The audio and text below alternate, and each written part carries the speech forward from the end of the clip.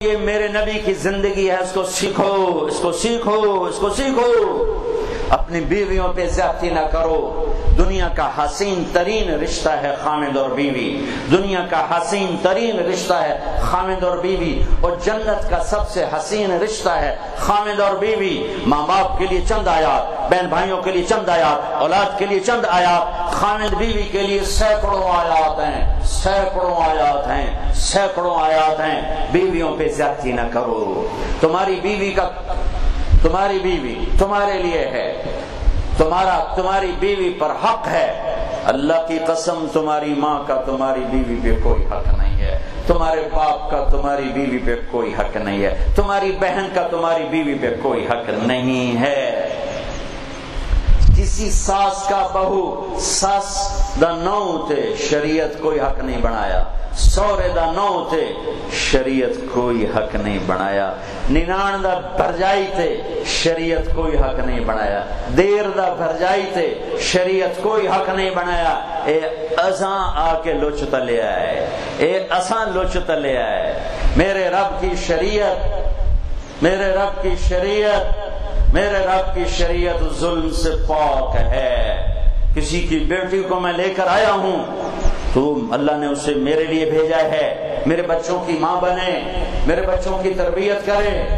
کدی سس، کدی سورا، کدی نینان کدی دیر، سارے دے سن سن اس بچے کی پالوں صاحب مر جانا ہے۔ وہ چولہے کے لیے نہیں آتی ہے، وہ نسل پالنے کے لیے آتی ہے۔ ہاں میں یہ نہیں کہتا، میں کوئی میں کسی کو بغاوت میں نہیں ابھار رہا ہوں، جو ظلم ہو رہا ہے وہ بتا رہا ہوں۔ میں آنے والی لڑکیوں سے کہتا ہوں، اپنے خامند کے ماں باپ کی خدمت کرو۔ یہ ان کا ان کا، ان کی عزت ہے، ان کی آبرو ہے، ان کی بڑائی ہے۔ لیکن میں سسرال سے کہتا ہوں کہ اس پر حق نہ جتلاؤ، اس پر حق نہ جتلاؤ۔ اپنی بیویوں کو حسن سلوک سے زندہ رکھو۔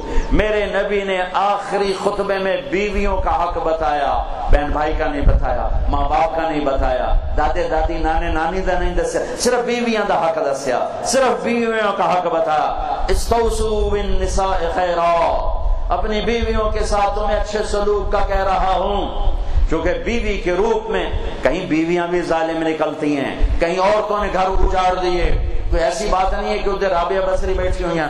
ادھر بھی کئی شتوں بڑے آ جاندے ہیں۔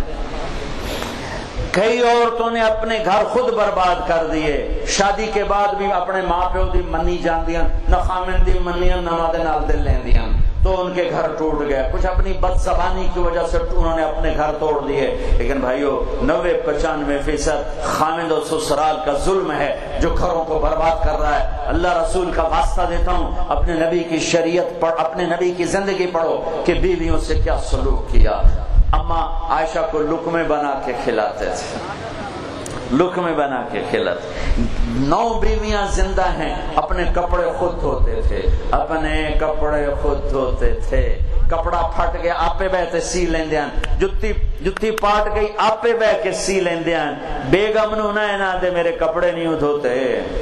میرے بھائیو میرے بھائیو، میرے نبی کی زندگی بتا رہا ہوں۔ یہ زندگی ہے، یہ زندگی ہے۔ رشتہ داروں سے سلوک رکھو، بچیوں کو وراثت میں حصہ دو۔ جامن تو پہلے پہلے آپ پہ دے کے جو تھوڑے پترا کوئی نہیں دیونا، کھا جا سنتنوں ڈکار بھی نہیں مارنا۔